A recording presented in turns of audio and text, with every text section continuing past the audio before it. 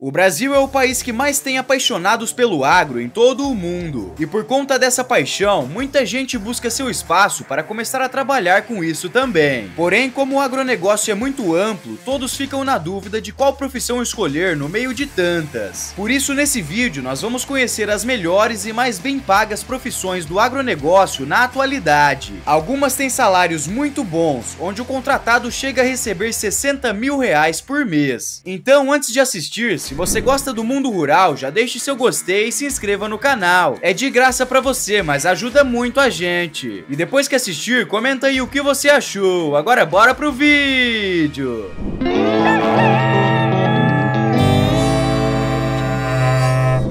O agronegócio é um setor que tem emprego para todos os tipos de pessoas e com todo tipo de serviço, desde os mais básicos até os mais complexos, e sempre está precisando de mais gente, principalmente as mais qualificadas. Por exemplo, é garantido que quem fez curso técnico na área de agropecuária não fica sem emprego no Mato Grosso do Sul, pois por lá existem mais de 5 mil produtores rurais pequenos, médios e grandes, abrindo oportunidades o tempo todo em busca de pessoas que queiram uma carreira no campo. Como em qualquer outra área, quem quer se dar bem tem que passar por degraus. Mas o bom é que sobra vagas e a entidade mantida pelos próprios produtores fornecem cursos gratuitos. Geralmente os salários para pessoas com curso técnico podem variar de 2.500 a 12 mil reais, nos cargos que mais abrem vagas atualmente. Mas além de conhecer essas profissões, hoje vamos conhecer algumas outras que podem pagar até mais que isso, chegando a 60 mil reais de salário mensal trabalhando trabalhando com o agronegócio. Então fique ligado até o final, com certeza alguma dessas profissões você vai se identificar.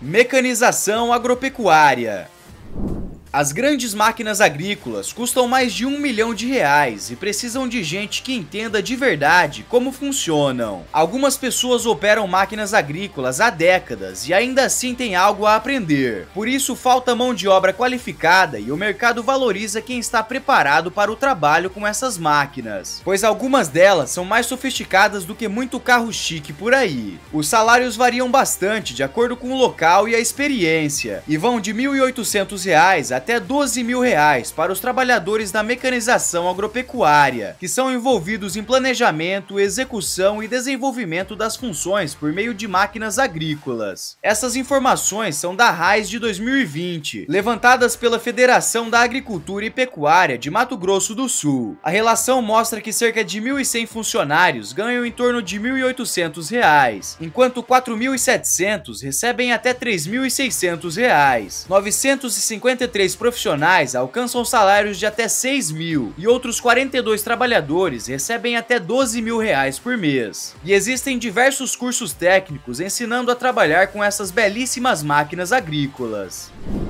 Vendedor de agropecuária Pessoas com aptidão para trabalhar com vendas também pegam carona no agronegócio. O curso técnico em agropecuária do Senar, por exemplo, prepara os profissionais do zero para atuar em lojas agropecuárias, gerência de fazendas, consultoria e auxílio a agrônomos e veterinários. Os salários para quem tem curso e por isso presta um atendimento mais personalizado aos produtores na hora da compra de insumos varia entre R$ 2.500 a R$ 7.000 por mês. A remuneração depende muito muito do tamanho da empresa e do desempenho do vendedor, que por muitas vezes recebe comissão além do salário. Operador de drones. Hoje em dia tem se usado muitos drones nas maiores fazendas do país e a demanda por esse serviço tem aumentado. Alguns dos requisitos que esse profissional precisa ter são cursos de operação de drones, aviação, conhecimento de rotas, velocidade e aceleração. Na agropecuária, os veículos aéreos não tripulados podem coletar mais facilmente dados sobre plantações, localizar animais, pesquisar hectares, doenças, danos causados por problemas climáticos, entre outros. E como é uma uma profissão nova, o salário também pode variar muito, mas de acordo com algumas fontes, a média salarial é de R$ 2.600 a R$ 4.500 por mês. E como a agricultura está ficando cada vez mais tecnológica, essa não é a única profissão que surgiu de alguns anos para cá. Existem outras como, por exemplo, o técnico em agricultura digital, que tem o objetivo de melhorar a produção das fazendas através da digitalização. Para isso, ele precisa entender tanto de processos do campo como de tecnologias da informação e comunicação, aliados a conhecimentos como agricultura e plantio. Além dessa profissão, tem também a de agricultor urbano, que acompanha a evolução do cultivo de alimentos nas grandes cidades. Requisitos de formação são tecnologia de digitalização, plantas e formas de plantio, análise de dados de produção, além de conhecer o relevo e topografia da região em que irá atuar. Gerente de Fazenda Toda propriedade rural, por mais simples que seja, continua sendo uma empresa. E como todo negócio, para ter sucesso e prosperar, precisa ser bem administrado. Uma propriedade bem administrada precisa ter uma força de equipe de trabalho qualificada, bem treinada, desenvolvida e satisfeita com aquilo que faz. Caso contrário, ela terá dificuldades em atingir o patamar financeiro e reconhecimento de marca desejado. Um dos profissionais responsáveis por essa parte do negócio é o gerente de fazendas, que tem a missão de planejar, decidir, controlar e também avaliar resultados com o objetivo de aumentar o lucro, além de manter o bem-estar de seus empregados e a motivação. Faz parte de sua função também administrar as atividades de fazendas de cria, recria, gado de corte, pastagens, melhoramento genético, entre outros, e atuar com o planejamento de plantio, troca de cultura, controle de pragas e tudo o que se refere às rotinas de uma propriedade rural. Em conjunto Junto com isso, também faz parte de sua jornada liderar a equipe de pessoas que trabalham com ele. Em um ramo tão importante para o país, liderar pessoas é tão importante quanto cuidar do gado. De acordo com a pesquisa salarial da Cato Online, a média salarial para um cargo de gerente de fazendas no Brasil é de R$ 7.300, mas pode variar muito de acordo com o tamanho da propriedade e o faturamento. Sem dúvida é uma profissão muito importante que pode render muito financeiramente. Gerente de vendas em soluções.